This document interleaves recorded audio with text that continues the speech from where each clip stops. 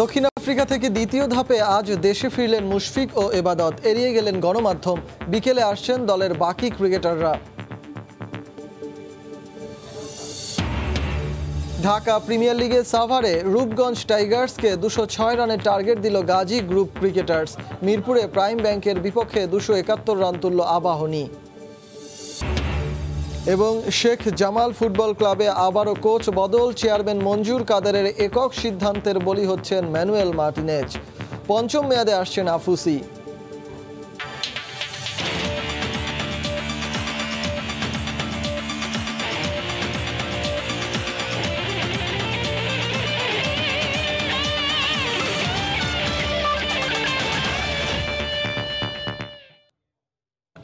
বিশ্বের নানা প্রান্তের খেলাধুলার খবর নিয়ে আমাদের নিয়মিত আয়োজন খেলার সময়। আর এই আয়োজনে আপনাদের সঙ্গে আছি আমি সজল মিত্র, রিচার্ড। দক্ষিণ আফ্রিকা সফর শেষে দ্বিতীয় বহরে দেশে ফিরেছেন মুশফিকুর রহিম ইবাদত হোসেন ও টিম স্টাফের তিন সদস্য। বৃহস্পতিবার সকাল দশটার দিকে ঢাকায় পা রাখেন তারা। ব্যাট হাতে দক্ষিণ আফ্রিকা সিরিজটা মোটেই ভালো কাটেনি মুশফিকের। ওয়ানডেতে বিশ ও টেস্টের চার ইনিংসে রান করেছেন মোটে আটান্ন। মাত্র এক ফিফটিতে শূন্য আর এক রানে আউট হয়েছেন একবার করে। এছাড়া দলের বিপদের সময়ে ঝুঁকিপূর্ণ শট খেলে আউট হয়েও জন্ম দিয়েছেন বিতর্কের। এদিন নিজের গাড়িতে করে বেশ তাড়াহুড়োতেই বিমানবন্দর এলাকা ত্যাগ করেন এই সিনিয়র ক্রিকেটার। এড়িয়ে যান গণমাধ্যম। প্রোটিয়া সিরিজ শেষে বাংলাদেশ ক্রিকেট দলের তৃতীয় ও সবশেষ বহর আসার কথা আজ বিকেলে।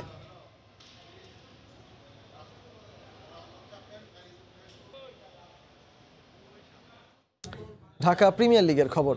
সাভারে বিকেএসপিতে গাজী গ্রুপের বিপক্ষে দুশো ছয় রানের টার্গেটে ব্যাট করছে রূপগঞ্জ টাইগার্স ক্রিকেট ক্লাব। এই মুহূর্তে সেখানে আছেন আমাদের সহকর্মী তারেক হাসান, শিমুল ডিপিএল এর সবশেষ খবর জানতে সরাসরি চলে যাব তার কাছে। Shimul. Dhaka premier division cricket লিগের সুপার লিগ নিশ্চিতে গুরুত্বপূর্ণ ম্যাচে কিন্তু বিকেএসপির তিন নম্বর মাঠে মুখোমুখি হয়েছে গাজী গ্রুপ ক্রিকেটার্স এবং রূপগঞ্জ টাইগার্স। এই ম্যাচটির দিকে কিন্তু বিশেষ এবং কি নজর রয়েছে যার একটি কারণ কিন্তু এই দুটি দলের যদি বলি যে সুপার লিগ নিশ্চিতের ব্যাপারটি গাজী গ্রুপ ক্রিকেটার্সের সুপার লিগ নিশ্চিত হয়ে গেছে এরই মধ্যে এবং কি রূপগঞ্জ টাইগার্সের জন্য কিন্তু এই ম্যাচটি গুরুত্বপূর্ণ। তাদের জয় পেলে কিন্তু সুপার লিগটা নিশ্চিত হবে। সেই ক্ষেত্রে কিন্তু আমরা জানি যে এই গাজী গ্রুপ ক্রিকেটার্স এবং কি রূপগঞ্জ টাইগার্স এই দুটি দলের মালিকানাও কিন্তু একই প্রতিষ্ঠানের গতকাল থেকেই বিভিন্ন গণমাধ্যমে আমরা সংবাদ দেখছিলাম এবং কি গুঞ্জন ছিল ক্রিকেট পাড়ায় যে দুই দলের, অর্থাৎ রূপগঞ্জ টাইগার্সকে সুপার লিগে আহ, উঠানোর জন্য হয়তো ম্যাচ ছেড়ে দিতে পারে গাজী গ্রুপ ক্রিকেটার্স। আমরা যদি বলি যে গাজী গ্রুপ ক্রিকেটার্স এখন পর্যন্ত মানে প্রথমে ব্যাট করেছে ব্যাট করে কিন্তু দুইশো ছয় রানের একটি টোটাল তারা দিয়েছে। এই টোটালটা একটা কিছুটা প্রশ্নের জন্ম দিবে স্বাভাবিকভাবে। আপনি যদি এর আগে ঢাকা প্রিমিয়ার ডিভিশন ক্রিকেট লিগে গাজী গ্রুপের টোটালগুলো দেখেন এই বিকেএসপির তিন নম্বর মাঠেই তিনশো ছেচল্লিশ রান যেটি ঢাকা প্রিমিয়ার ডিভিশন ক্রিকেট লিগে এখন পর্যন্ত দ্বিতীয় সর্বোচ্চ স্কোরটি হয়েছে সেটি কিন্তু মোহামেডানের বিপক্ষে এই গাজী গ্রুপ ক্রিকেটার্সই করেছে সাত উইকেটের খরচে। আর যদি বলি যে মাত্র দুই দিন আগে আবাহনী এর বিপক্ষে গাজী গ্রুপ ক্রিকেটার্স এই মাঠে খেলেছে, সেখানে কিন্তু তিনশো দশ রানের একটি ইনিংস তারা করেছে। এর আগে ব্রাদার্স ইউনিয়নের বিপক্ষে দুইশো সাতানব্বই রানের ইনিংস তাদের রয়েছে। এই বিকেএসপির তিন নম্বর মাঠে। আসলে বোঝা যাচ্ছে যে আসলে এই মাঠটা সবসময় বিকেএসপির মাঠগুলো আসলে ব্যাটিং স্বর্গ স্বাভাবিকভাবে। কিন্তু আজকের ম্যাচটায় আসলে আমরা দেখলাম যে গাজী রূপগঞ্জ টাইগার্সের যারা বোলার রয়েছে তারা কিন্তু একেবারে যে নতুন কোনো বোলার বা আহ, আহামরি খুব ভালো বোলারও যে নয় যারা আসলে এতটা একেবারে বিপাকে ফেলে দিতে পারে গাজীর ব্যাটসম্যানদের। স্বাভাবিকভাবে তারা কিন্তু এর আগে যেই ইনিংসগুলো খেলেছে সেই জায়গা থেকে বলা চলে যে স্বাভাবিকভাবে একটা ভালো রান হওয়ার কথা ছিল। কিন্তু শুরুর দিকে আমরা যেটা দেখেছি মাত্র দশ ওভারের মধ্যে কিন্তু সতেরো রানে তিনটি উইকেটের পতন হয়েছে। তারপরে যদি দশ ওভারে চব্বিশ রানের মতো রান সংগ্রহ করেছে সেখানেই আসলে রানটা স্লো করে দিয়েছে। ওই যে আসলে গুঞ্জন হয়ে উঠেছে সেটা আসলে কিছুটা চিত্রও কিন্তু এখানে দেখা যাচ্ছে। তবে এখনও ম্যাচের অনেকটাই বাকি রয়েছে। শেষ পর্যন্ত আসলে কি হয় সেটা দেখার বিষয় এখন রয়েছে। তো সাভারের বিকেএসপি থেকে আমার কাছে এই ছিল সবশেষ খবর। সাভারের বিকেএসপি থেকে জানাচ্ছিলেন সহকর্মী তারেক হাসান শিমুল। মিরপুরের উইকেটে নিয়মিত ম্যাচ খেললে যে কোনো ক্রিকেটার তার ফর্ম হারিয়ে ফেলবে। কেন? বারবার এমন লো স্কোরিং ম্যাচ হচ্ছে তা খতিয়ে দেখা উচিত, এমন মন্তব্য করেছেন ক্রিকেট বিশ্লেষক নাজমুল আবেদিন ফাহিম। জাতীয় দলের ক্রিকেটার যারা ফর্মহীনতায় আছেন, তারা মিরপুরের উইকেটে খেললে আরও আত্মবিশ্বাস হারিয়ে ফেলবে। তাই শ্রীলঙ্কা সিরিজের আগে উইকেটের উন্নতি করার পরামর্শ দিলেন এই ক্রিকেট বিশ্লেষক। খেলে এরকম পিচে যে কোনো একটা ব্যাটসম্যান হলে তার ক্যারিয়ারটা শেষ হয়ে যাবে। বাংলার উইকেট ব্যাটারদের জন্য বদ্ধভূমি বললে ভুল হবে না। সাকিবের এই কথা তো তাই বলে। আন্তর্জাতিক স্তরের পর ঘরোয়া টুর্নামেন্টেও দুর্বোধ্য হোম অফ ক্রিকেট। নতুন করে আলোচনায় মিরপুরের বাইশ গজ।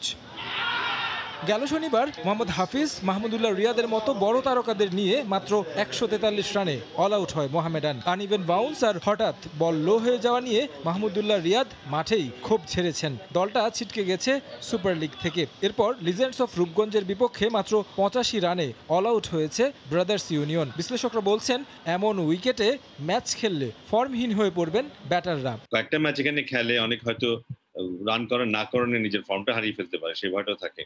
সো ডেফিনেটলি এটা একটা চ্যালেঞ্জ এই ধরনের উইকেটে খেলা। বলারদের জন্য সাহায্য থাকতে পারে ডেফিনেটলি কিন্তু বাউন্সের কনসিস্টেন্সি যদি না থাকে পেসের কনসিস্টেন্সি যদি না থাকে সেক্ষেত্রে ব্যাটসম্যানরা কিন্তু ভীষণ বিপদে পড়ে যাবে। মোহামেডানের ম্যাচে রিয়াদের প্রতিক্রিয়ার পর খেলার মাঝেই উইকেট পরিদর্শন করেছেন প্রধান কিউরেটর গামিনী ডি সিলভা। দিনের পর দিন বেতন নিয়ে কি করছেন এই শ্রীলঙ্কান? প্রশ্ন উঠেছে গ্রাউন্ডস কমিটির কার্যক্রম নিয়েও যে উইকেটে নিয়মিত আন্তর্জাতিক ম্যাচ খেলতে হয় বাংলাদেশকে তা নিয়ে কতটা সতর্ক সংশ্লিষ্টরা? এমন দুরবস্থার উত্তরণে বিশেষ নজরের পরামর্শ এই বিশ্লেষকের। উইকেটটা কেন এমন হয় সেটা নিয়ে একটু বোধহয় একটু গবেষণা করা দরকার। এবং ওখানে যে শর্টকামিংগুলো আছে সেগুলি দূর করা দরকার। আমাদের ওখানে আমাদের ন্যাশনাল ক্রিকেটার আছে এখানে যথেষ্ট ইনভেস্টমেন্ট আছে ভালো ভালো বিচক্ষণ লোকেরা এগুলি দেখাশোনা করে। আর মানে একটু গবেষণা হওয়া দরকার যথাযথ অ্যাকশন নেওয়া উচিত। দুটি টেস্ট খেলতে বাংলাদেশে আসবে শ্রীলঙ্কা। একটি টেস্ট হবে মিরপুরে।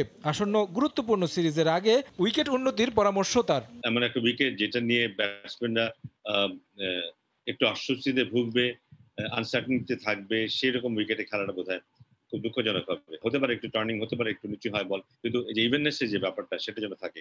কারণ দুইটা দল দুটো দলই কিন্তু একই নেচারের ক্রিকেট খেলে। জাতীয় দলের যে ক্রিকেটাররা ফর্মহীন রয়েছেন তাদের আত্মবিশ্বাস বাড়াতে ব্যাটিং সহায়ক উইকেট করতে হবে বলেও মত তার। তারেক হাসান শিমুল সময় সংবাদ ঢাকা। এক ম্যাচ হারলেই একে অপরকে দোষারোপের সংস্কৃতি ক্ষতি করছে বাংলাদেশের ক্রিকেটের। এগিয়ে যেতে হলে বন্ধ করতে হবে এমন নেতিবাচক মনোভাব। মন্তব্য করেছেন বাংলাদেশের সাবেক অধিনায়ক ও বিসিবি পরিচালক আকরাম খান। দক্ষিণ আফ্রিকায় টেস্ট সিরিজে খারাপের পেছনে খেলার, মাঠের খেলার চেয়েও বাইরের আলোচনা কি বেশি দায় দিলেন তিনি? দেশের ঘরোয়া ক্রিকেটের মান নিয়ে সন্তুষ্ট না হলেও এখানে বিসিবি নয়, ক্রিকেটারদের দায়টাই বেশি দেখছেন আকরাম খান। ওয়ানডে সিরিজে ইতিহাস গড়ে শুরু হয়েছিল যে আসর, তার শেষটা এমন হবে সেটা কে ভেবেছিল? কে জানত? সাদা বলের দুর্দান্ত দলটা এভাবে আত্মসমর্পণ করবে লাল বলের খেলায়? গত মাসেও যাদের বরণে আলাদা বোনাসের ঘোষণা এসেছিল ক্রিকেট বোর্ড থেকে, আজ ঠিক কেন তারা এতটা নিঃসঙ্গ? প্রশ্নগুলোর উত্তর খুব সহজ। আশানুরূপ পারফর্ম করতে পারেননি দলের দায়িত্বশীলরা। ব্যর্থ হয়েছেন অধিনায়ক এবং তার সিনিয়র পার্টনাররা টিম ম্যানেজমেন্টও পারেনি নিজেদের মুনশিয়ানা দেখাতে দল নির্বাচন কিংবা উইকেট রেডিংয়ে দেশের আপামর জনতা এভাবে ভাবলেও চিন্তাটা আলাদা সাবেক অধিনায়ক আকরামের। তার মতে ক্রিকেটের বাইরের বিষয় নিয়ে অতিরিক্ত আলোচনাই কাল হয়েছে টাইগারদের জন্য। প্রথম ম্যাচ হারার পর দেখেন আপনার টিমকে নিয়ে কিন্তু অনেক নেগেটিভ কথা বলা হয়েছে শুনতে হয়েছে। এগুলো কিন্তু আপনার পরেরটা কিন্তু এফেক্ট হয়ে যায়। আপনি যদি দেখেন ব্যাটসম্যানদেরকে সবাই জানে কি জিনিসটা করতে হবে, কি জিনিস করতে হবে না, কিন্তু ওখানে গিয়ে কিন্তু যেটা করার না সেটা করছে বিকজ অফ প্রেশার এটা কিন্তু আপনাকে ফুল প্রেশারে পড়ে যাচ্ছে প্লেয়াররা এই জিনিসটা থেকে আমাদেরকে বের হতে হবে। একটা করে অ্যাওয়ে সিরিজে ভরাডুবি হয় আর নতুন করে ঘরোয়া ক্রিকেট নিয়ে আলোচনা শুরু হয় দেশের ক্রিকেট আঙ্গনে। এবারও ব্যতিক্রম হয়নি। ইতোমধ্যে শ্রীলঙ্কা সফরের আগে এনসিএল এবং বিসিএল এ খেলার জন্য ক্রিকেটারদের নির্দেশনা দিয়েছে বিসিবি। কিন্তু এই আসরগুলোর মান নিয়ে রয়েছে নানা প্রশ্ন। যদিও এখানে বোর্ডের দায় দেখছেন না আকরাম খান। এখন তো মনে করেন যে আমাদের ডোমেস্টিকে কিন্তু অনেকগুলো লঙ্গার ভার্সন টুর্নামেন্ট হচ্ছে। বাট সাকিব, তামিম, মুশফিক, এরা কিন্তু আসছে কিন্তু আপনার বারো তেরো বছর আগে। তখন আমাদের ডোমেস্টিক স্ট্রাকচার কী ছিল? বাট ওরা তো ওরা তো নিজেদেরকে একটা পর্যায়ে নিয়ে গেছে। তো এখনকার প্লেয়াররা কেন পারছে না? এই জিনিসটা কিন্তু আপনাকে চিন্তা করতে হবে। কারণ এটা কিন্তু হান্ড্রেড পার্সেন্ট আপনার প্লেয়ারদের থেকে এই এফোর্টটা আসতে হবে। ক্রিকেটের উন্নতির জন্য মাঠের খেলার বাইরে অবকাঠামো নিয়েও কাজ করছে বিসিবি, যার ধারাবাহিকতায় হোম অফ ক্রিকেটে তৈরি হচ্ছে নতুন প্রেস বক্স ফ্যাসিলিটিস কমিটির চেয়ারম্যান জানালেন পরবর্তী ঘরোয়া সিরিজের আগেই নাকি প্রস্তুত হয়ে যাবে সেটা। শ্রীলঙ্কার সাথে যে টেস্ট হবে তার আগেই কিন্তু এখানে আমরা উন্নত মানের একটা আপনাদের প্রেস বক্স করে দিচ্ছি। এখন যে ফ্যাসিলিটিস আছে এখান থেকে অনেক আরও ভালো ফ্যাসিলিটিস আপনারা পাবেন এবং সিটের সংখ্যাটা আমরা বাড়িয়ে দিচ্ছি। আপনার তিরিশটার মতো বেশি লোক আরও বসতে পারবেন এখানে। আমরা আপনার একটা ফুডের জোন করে দিচ্ছি। নিয়ন মোহাইমেন সময় সংবাদ ঢাকা। চলতি বিপিএলে একমাত্র দল হিসেবে শেখ জামালকে অপরাজিত রাখার পরও ক্লাবটির কোচের দায়িত্ব থেকে সরিয়ে দেওয়া হচ্ছে হুয়ান ম্যানুয়েল মার্টিনেসকে তার পরিবর্তে পঞ্চম দফায় ক্লাবটির কোচের ভূমিকায় আনা হচ্ছে নানা কারণে সমালোচিত জোসেফ আফুসিকে। গেল দশ বছরে প্রতি মৌসুমের মাঝপথে কোচ বদল নাকি হয় ক্লাবটির চেয়ারম্যান মঞ্জুর কাদেরের একক সিদ্ধান্তে। লিগ চলাকালীন বা মধ্যবর্তী দল বদলে হঠাৎই বরখাস্ত হবেন কোচ। গেল দশ বছরে এ যেন শেখ জামালের কোচের চেয়ারে বসা ব্যক্তির অপরিবর্তিত নিয়তি। এবার প্রসঙ্গ জোরালো হয়েছে পুরো লিগে শেখ জামালকে অপরাজিত রাখা কোচ হুয়ান ম্যানুয়েল মার্টিনেসকে বরখাস্ত করার খবরের মধ্য দিয়ে। তার পরিবর্তে ক্লাবটির সাবেক কোচ নাইজেরিয়ান জোসেফ আফুসিকে আবারও নিয়ে আসছে ক্লাবটির চেয়ারম্যান মঞ্জুর কাদের এমনই গুঞ্জন বাতাসে। দু হাজার বারো তেরো মৌসুমে শেখ জামালের খেলোয়াড় থেকে কোচ হন জোসেফ আফুসি। এরপর চার দফা ক্লাবটির কোচের দায়িত্ব পালন করেন এই নাইজেরিয়ান। পারফরমেন্স ভালো মন্দের মিশেলে হলেও নানা কারণে বিতর্কিত তিনি। সূত্র জানায়, প্রতি মৌসুমে ক্লাবটির কোচের মসনদের মিউজিক্যাল চেয়ার পরিবর্তন হয় কেবল ক্লাবটির চেয়ারম্যান মঞ্জুর কাদেরের একক সিদ্ধান্তে। গেল মৌসুমেও মাঝারি মানের শেখ জামালকে পয়েন্ট টেবিলের দুয়ে নিয়ে আসা কোচ শফিকুল ইসলাম মানিককেও বহিষ্কার করেন মঞ্জুর কাদের। কোচ বদলের খবর এখনও জানানো হয়নি। বর্তমান কোচ মার্টিনিসকে এদিনও ক্লাবের মাঠে খেলোয়াড়দের অনুশীলন করালেন খুনসুটি করলেন। সময় সংবাদের কাছে বহিষ্কারের খবর শুনে অবাক তিনিও। The club decide to do. I must to accept, and if this is only a rumor, I must continue working because I want to understand. খেলোয়াড়রাও অনেকে জানেন না কোচ পরিবর্তনের খবর। বারবার এমন কোচ পরিবর্তনে প্রভাব পড়ে খেলাতেও। এখনও আমি অফিসিয়ালি ভাবে কোনো নিউজ পাই নাই বাট অনেকের কাছে শুনতেছি যে কোচ চেঞ্জ হইতেছে? এটা ম্যানেজমেন্টের বিষয়। ক্লাব অথরিটি প্লেয়ারদেরকে যেদিকে যে কোচে এনে দিকে আমাদের খেলতে হবে। যদি শেষ পর্যন্ত আর শেখ জামালে না থাকেন তবে বসুন্ধরা কিংসের সঙ্গে ম্যাচটি মার্তিনেজের কোচ হিসেবে শেষ ম্যাচ। যদিও সেই ম্যাচে শেষ তিন মিনিটে দুই গোল খেয়ে নিশ্চিত জয়বঞ্চিত হওয়ায় ধানমন্ডির ক্লাবটির ভূমিকা নিয়ে রয়েছে ধোয়াশা। মেহদি নাইম সময় সংবাদ ঢাকা। মে মাসে হচ্ছে না শুটিং প্রিমিয়ার লিগ। বিশ্বকাপ ও এশিয়ান গেমসের খেলা থাকায় লিগ পিছিয়ে দেওয়া হয়েছে। ঘরোয়া শুটিংয়ের জন্য বহু স্তর বিশিষ্ট কাঠামো তৈরি করেছে ফেডারেশন। এদিকে শুটিং ফেডারেশনের খালি জায়গায় স্পোর্টস কমপ্লেক্স করার পরিকল্পনা অনেক দূর এগিয়েছে বলে জানান মহাসচিব ইন্তেখাবুল হামিদ অপু। শুটিংয়ে হবে জার্মানি ও নেদারল্যান্ডসের মতো প্রিমিয়ার লিগ। মে মাস থেকেই বসবে আসর, অংশ নিবে বসুন্ধরা কিংস আবাহনীর মতো দেশের সেরা পাঁচ কর্পোরেট দল। এমন বড় খবরে দেশের শুটিংয়ে আনন্দের সুবাতাস বইছিল, কিন্তু হঠাৎই তাতে ছেদ। বিশ্বকাপ ও এশিয়ান গেমসের জন্য মে ও জুন মাসে ব্যস্ত থাকবেন শুটাররা, তাই আপাতত পিছিয়ে গেল বহুল কাঙ্ক্ষিত প্রিমিয়ার লিগ। আমি কথা দিয়েছিলাম যে মে মাসে আমরা শুরু করব। যেহেতু বিদেশে কয়েকটা খেলা পড়ে গেছে এই মে মাসটা আমরা ধরতে পারছি না। যেহেতু একটা লিগ হিসাবে যাচ্ছি লিগেও দেখবেন ক্রিকেটে তো লিগ আছে ফুটবলেও লিগ আছে।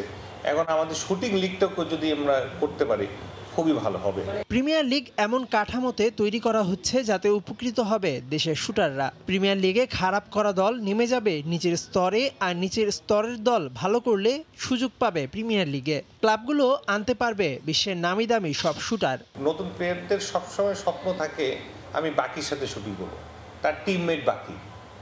সো এই যে একটা উৎসাহ নিয়ে খেলা করবে একটা বাচ্চা ছেলে হোক আন্ডার সিক্সটিন হোক আন্ডার টোয়েন্টি ওয়ান হোক তখন বললাম এই এইভাবে করে বললাম আমরা অনেক শুটার পাবো। এদিকে আর্থিক সমস্যা কাটাতে ফেডারেশনের পাশের খালি স্থানে স্পোর্টস কমপ্লেক্স করার পরিকল্পনা অনেক দূর এগিয়েছে বলে জানান ফেডারেশনের মহাসচিব। মাল্টি ফাংশনাল কমপ্লেক্স থাকবে এখানে অনেক কিছু স্পোর্টস রিলেটেড জিনিসপত্র থাকবে। আমরা যেটা চিন্তা করেছি এখানে যদি কোনো স্পোর্টসের দোকান থাকে এটা শুধু স্পোর্টসেরই দোকান থাকবে। এটা গয়নাগাটির দোকান অন্য কিছু দোকান থাকবে না।